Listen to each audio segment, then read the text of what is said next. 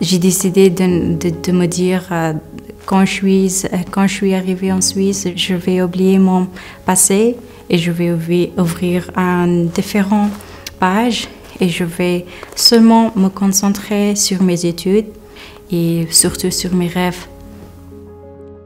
C'était mon deuxième but de, trouver des possibilités où je peux euh, me rejoindre dans une université ou dans une autre école pour continuer euh, mes apprentissages.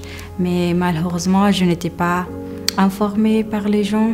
C'était mes recherches qui m'ont aidé de m'inscrire dans ce programme qui s'appelle l'Horizon académique. Je n'étais jamais informée qu'il existait des programmes où ils donnent les possibilités aux migrants pour euh, continuer ses études ou pour commencer ses études comme moi. Et j'espère que tout le monde aura la possibilité d'être intégré et spécialement d'avoir la possibilité de continuer ses études. Nous exigeons que les personnes réfugiées soient informées d'étudier en Suisse.